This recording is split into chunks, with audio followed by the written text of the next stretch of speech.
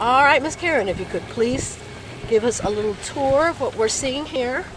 This is a recreation of a Spanish house. There would have been a small village here in the 17th century. And this house is represented as the Lieutenant Governor's house. But we know that house is probably would need to be far grander than what we're going to see. But you'll see a typical house of a typical Spanish family who lived at San Luis. Excellent. Let's go ahead and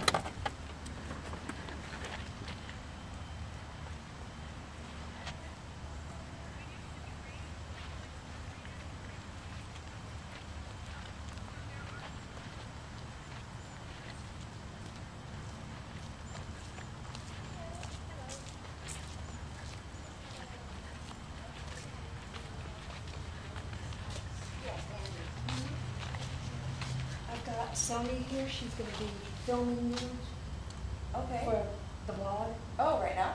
Yeah. Okay. All right. Cool. Hello. Hi. You might want to, Sonia, Mm-hmm. she can greet you at the door with a Spanish, uh, she's a, uh, she's a, I'm a servant today. yes, that's right, you're not the Spanish lady. Want me to step out or? Um, no, you can just watch if you want. Hello. Welcome to the home of Juana Caterina de Florencia. She is a very wealthy and influential Spanish aristocrat here at Mission San Luis, but she is an ill-tempered woman. So luckily for you, you get to hang out with me today instead of meeting her, because you don't want to deal with her. Okay. Well, welcome to our home. This is a wattle and daub structure, a very typical Spanish style of construction. It starts as a wooden framework like that uh, structure across the way. And um, then you take saplings, vines, and small branches, weave them together laterally to form a basket, and then you pack something called daub on top of that. Now, daub is a mixture of clay, sand, water, straw, and animal dung. That animal dung is very, very important as a binding agent. So once you pack on that daub, and hopefully you do it on a sunny day um, where it can dry out and, and bake and harden in the sun, um, you whitewash it with limestone and water. And the Senora loves that whitewash because even on a cloudy, uh, drab day like today, it reflects light around the home.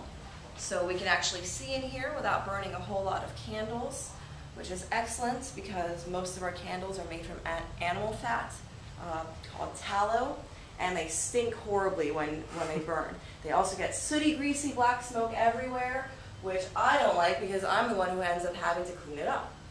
So it's much, much nicer just to have sunlight. Also, the Senora, you know, the, the candles, they cost money. So she's rich, not stupid. So she's going to conserve all the resources that she's able to. And you can see her wealth and influence because she has a lovely raised bed um, with this nice canopy on it. Uh, somebody like me, I just sleep on a deer hide. So this is a luxury item. And these big pieces of fabric, they're beautiful, they're functional, they keep bugs from falling on her while she sleeps, but also it's financial security because this fabric is, uh, is imported from Europe and it's a very, very useful item. Because out here on the frontier, we don't really like to deal with coin, currency. I, I won't accept it as payment because it's heavy and it doesn't keep me warm and I can't eat it. So I'd much rather have pieces of fabric because as a cook, I frequently burn holes in my skirt that will need patching. Uh, uh, I have lots of children, they grow so quickly, they frequently need um, adjustments made to their clothes which require more fabric. And we also just work hard, we wear out our clothes. So this is a very, very um, useful commodity to have. And additionally, if the British do come and invade, then the Senora has an excellent trade item that's lightweight, easy to travel with, and it's useful to her even if she uh, doesn't have somebody to trade. Because even if you do nothing with it, it's a blanket. Thank you.